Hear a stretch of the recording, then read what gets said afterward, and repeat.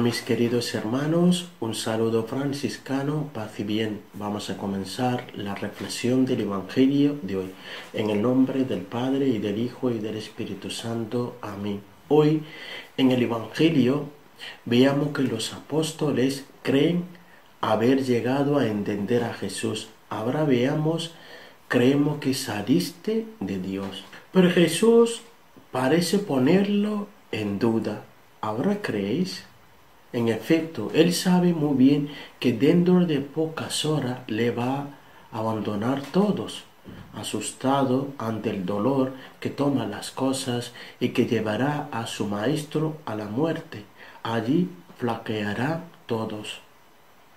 Jesús los quiere dar ánimos ya desde ahora antes de que pase.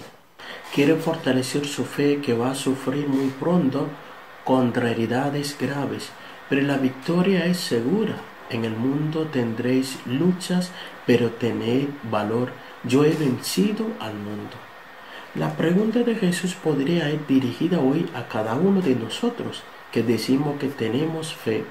Nunca es segura nuestra adición a Cristo, sobre todo cuando se ve afrontada con las luchas que Él nos anuncia y de las que tenemos amplia experiencia. ¿Hasta qué punto es sólida nuestra fe en Jesús? ¿Aceptamos también la cruz o no quisiéramos que apareciera en nuestro camino? No puede pasar como a Pedro antes de la Pascua. Todo lo iba aceptando menos cuando el maestro hablaba de la cruz o de la muerte, o cuando se humillaba para lavar los pies de los suyos. La cruz y la humillación no entraba en su mentalidad y por tanto en su fe en Cristo. Luego maduró por obra del Espíritu.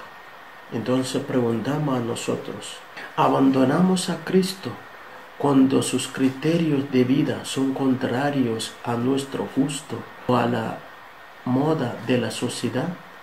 ¿Le seguimos también cuando exige renuncias? El mismo Jesús nos ha dado ánimos, ninguna dificultad, ni externa ni interna, debería hacernos perder el valor. Unidos a Él, participaremos de su victoria contra el mar y el mundo. La última palabra no es la cruz, sino la vida. Y ahí encontraremos la serenidad para que encontréis la paz en mí. Esa es la palabra de Jesús.